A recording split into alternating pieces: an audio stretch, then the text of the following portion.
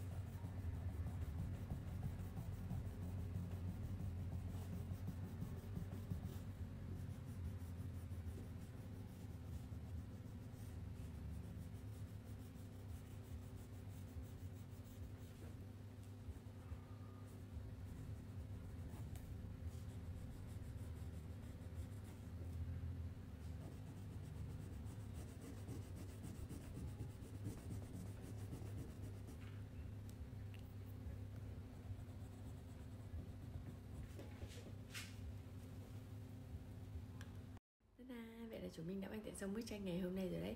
Các bạn hãy cho mình biết ý kiến của các bạn về bức tranh này nha. Video của mình xin được kết thúc ở đây. Đừng quên nhấn like và follow kênh ủng hộ cho mình đấy nhé các bạn có đang quan tâm những chủ đề nào thì hãy comment ở phía dưới. Mình sẽ sưu tầm hướng dẫn các bạn tô tiếp nha. Bye bye. Hẹn gặp lại các bạn ở những clip hướng dẫn tô màu số tiếp theo.